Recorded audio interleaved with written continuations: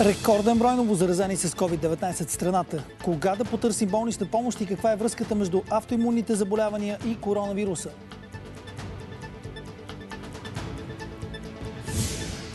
Скандал в парламента. Депутатите се скараха има ли форум и може ли той да се крепи на онлайн регистрация? Шест държави до момента алармираха за разпространение на коронавирус сред норките. Носят ли те потенциален риск за хората и най-вече за бъдещата вакцина срещу вируса?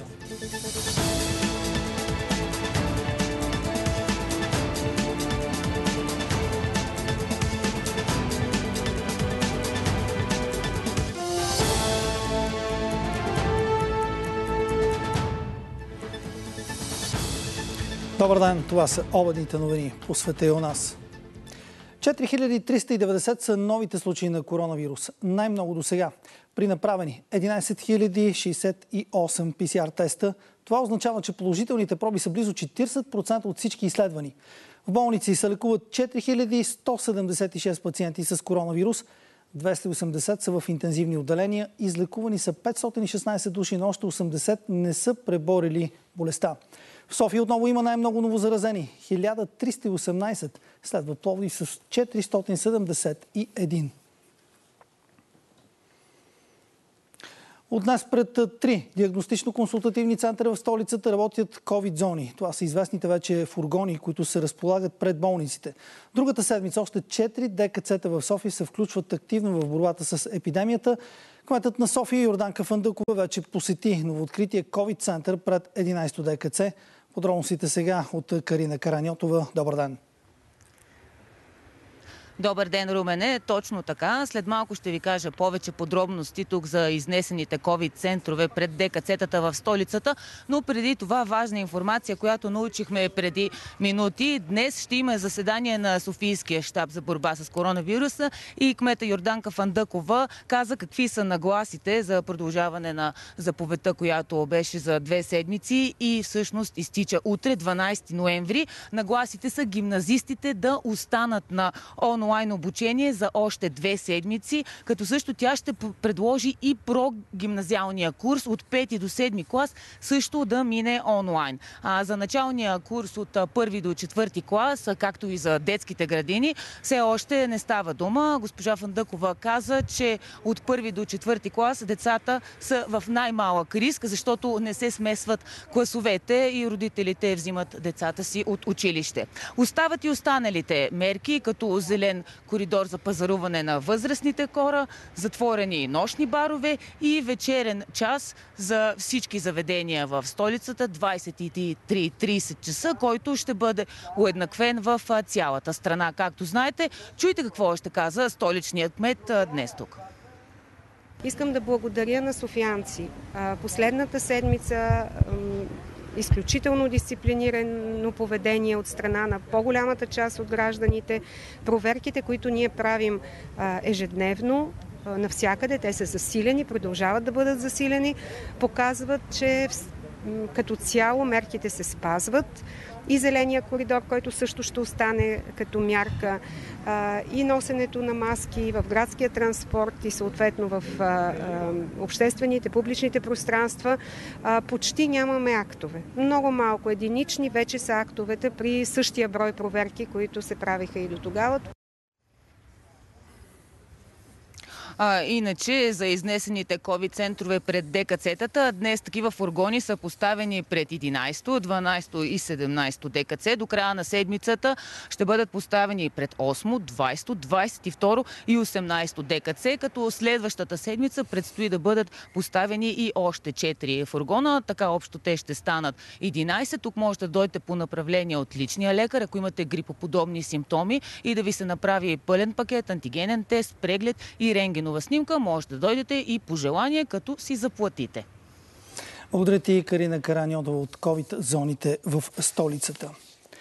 Здравният министр се среща с представители на фармацевтичния сектор, за да намерят решение как да се преодолее дефицитът на някои медикаменти, които се използват при лечението на болни с COVID.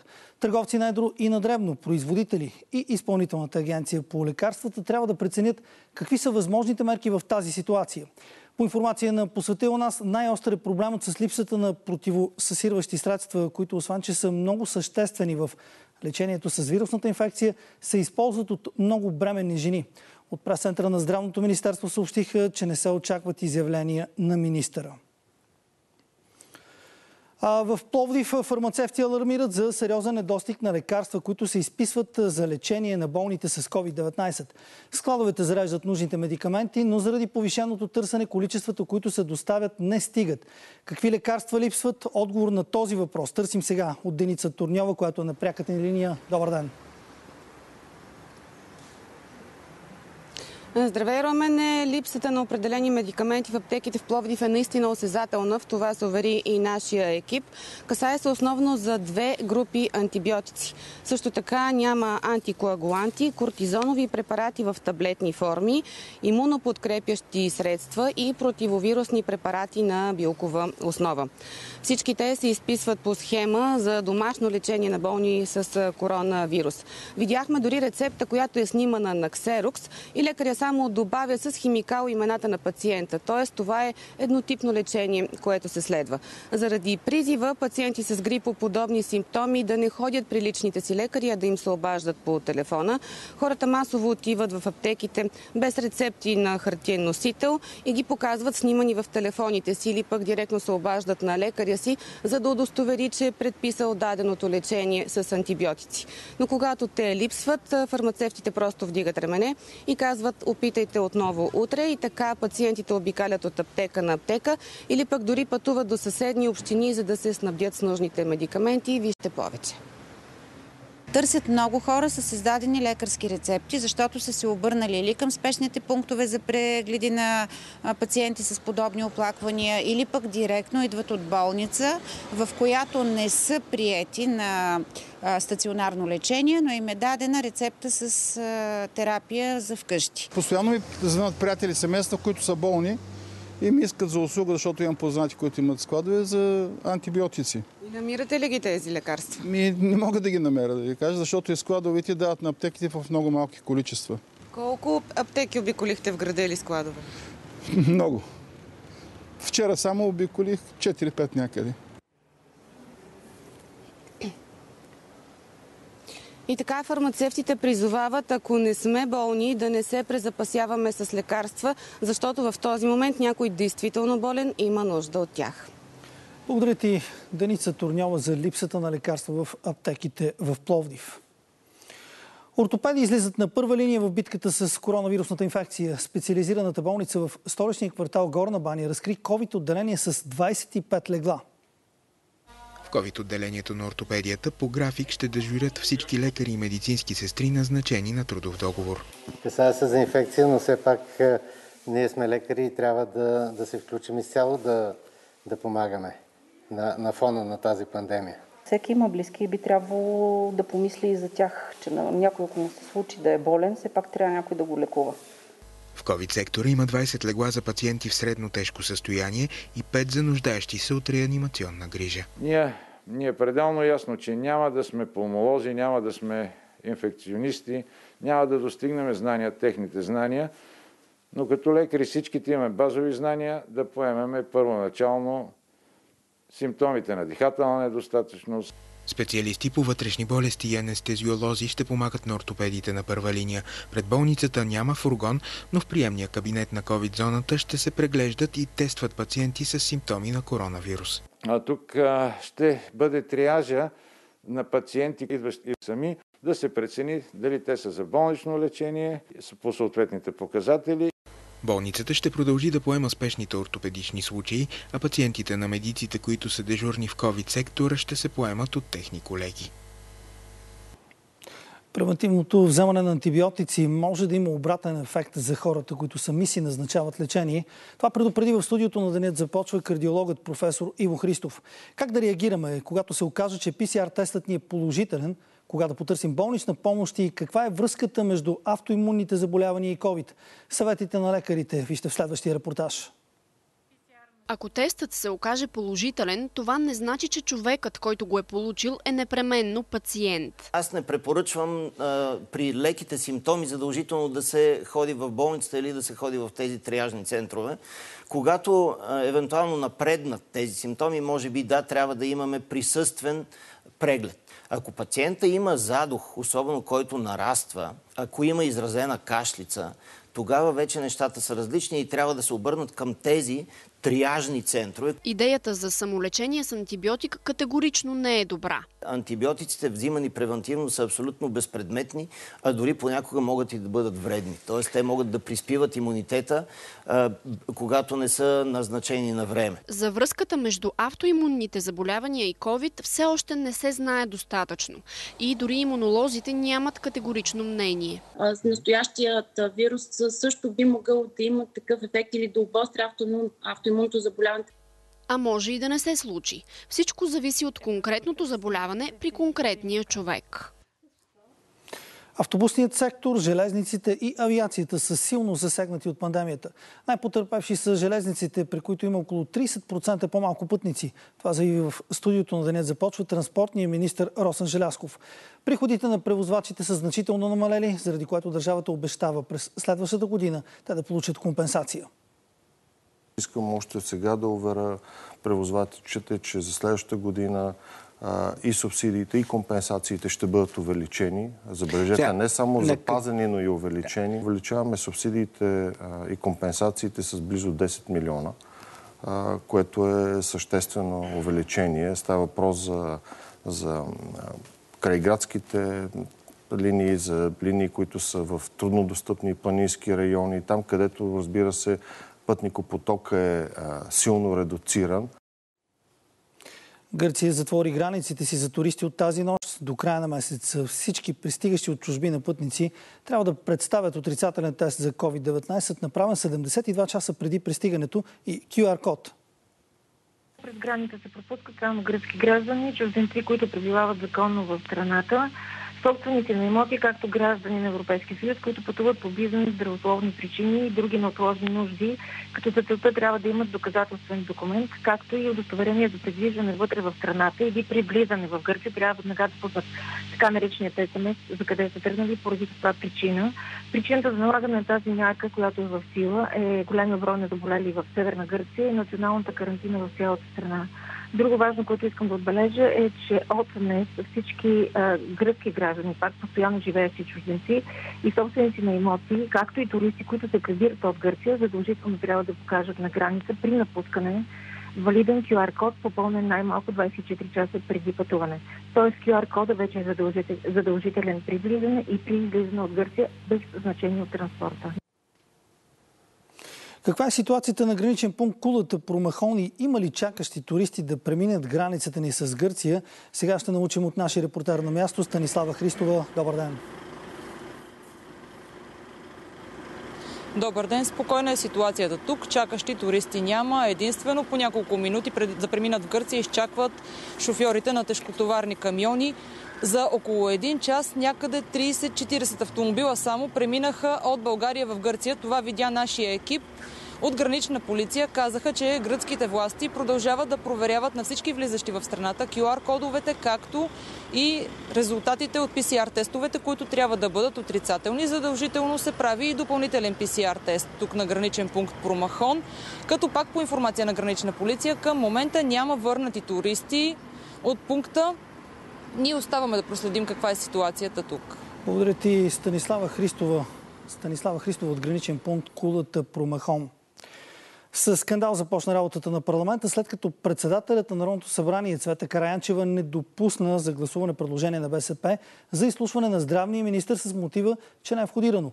Социалистите успориха кворума, събран с онлайн регистрация на народни представители. Подробностите сега от Николай Минков. Добър ден!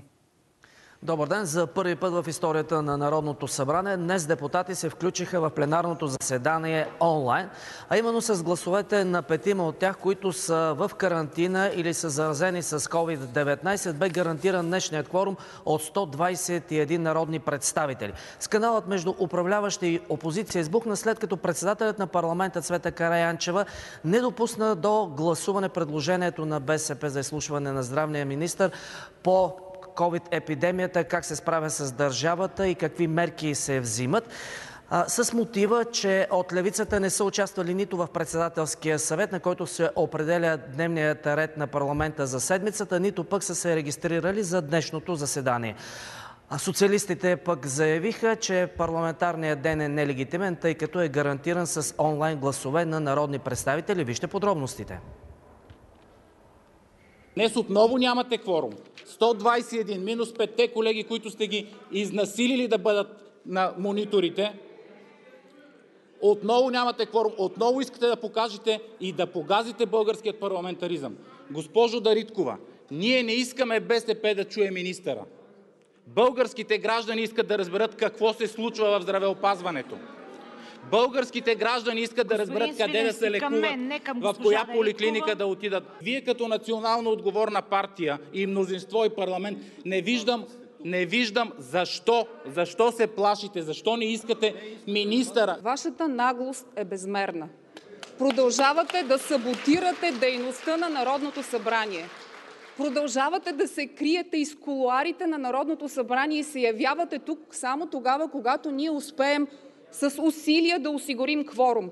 Не Ви ли е неудобно от колегите, които представяме от болничните стаи на кислородно лечение? Не Ви ли е неудобно от българските граждани?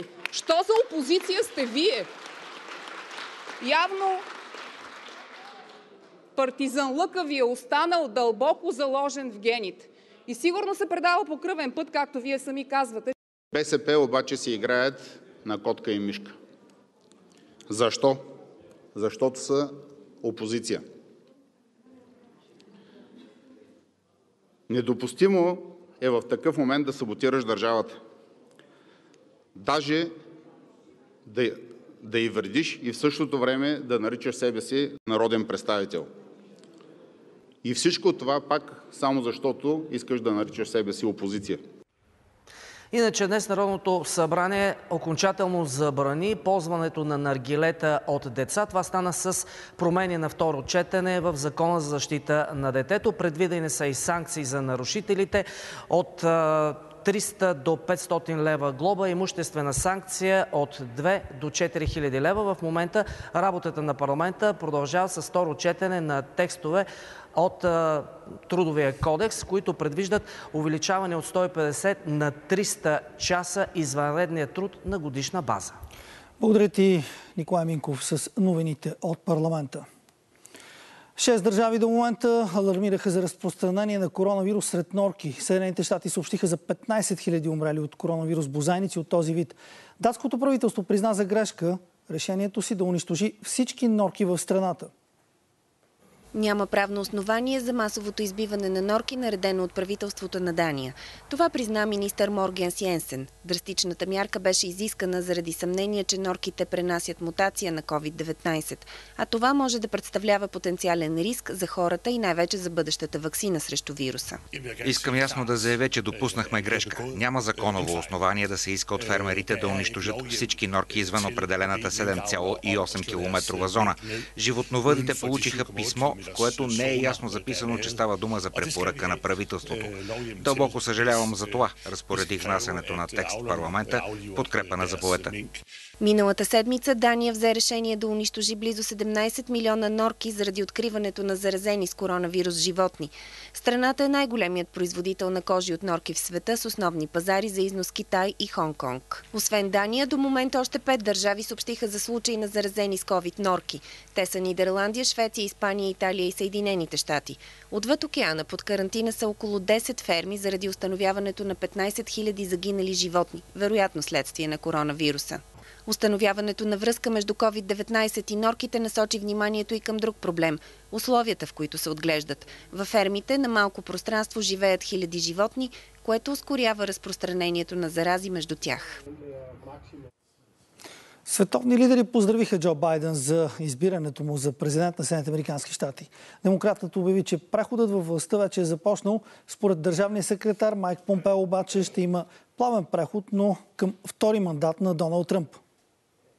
Нищо не може да спре смяната на властта в Съединените щати. С тези думи Джо Байден се обърна към аудиторията в Уилмингтън.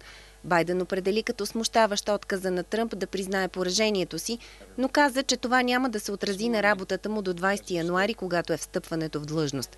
Демократът разкри, че вече обмисля състава на новата администрация и коментира и разговорите си с чуждестранни лидери. На първо място искам да зная, че Америка се завръща. Връщаме се в играта. Америка не е сама. Имах възможност да разговарям с шестима световни лидери. От Великобритания до Франция и от Германия до Канада. Също и Ирландия. Щабът на Тръмп и хора от близкото му обкръжение продължават да настояват за щателно преброяване на гласовете и твърдят, че има данни за изборни измами. Ще има плавен преход към втора администрация на Тръмп. Готови сме. Светът гледа какво се случва. Гласовете се броят. Когато този процес приключи, ще бъдат избрани електорите. Това е процес, ясно определен по Конституция. От събота насам Доналд Тръмп използва единствено любимия си канал за комуникация – Twitter. Ще спечелим, изписано с главни букви, беше една от последните му публикации в социалната мрежа. Арабският комитет за интегриране в България и представители на политическа партия АБВ в този час провеждат дискусия за свободата на словото. Темата на срещата е интеграцията на арабските граждани, които живеят в Европейския съюз. Ние се стремим да ги интегрираме в българското общество. Ние сме в, в помощта на всички органи в Република България. Това, което ни събира днес е общата воля. Стремежа ни да гарантираме не просто съвместния ни добър начин на живот, но да гарантираме противопоставянето срещу а, уродливи явления, нетипични за нормалния човешки разум, а, от които по същество страдаме всички. И терора е първенстващо явление в този смисъл. Локдаун е дума на годината. Тя беше избрана от престижния речник Колинс. Терминът, който се използва при поставане под карантина е използван повече от 250 хиляди пъти през тази година. За сравнение, миналата година е употребяван едва 4 хиляди пъти. Сред останалите думи, които са били много използвани са самоизолация, социална дистанция и разбира се, коронавирус.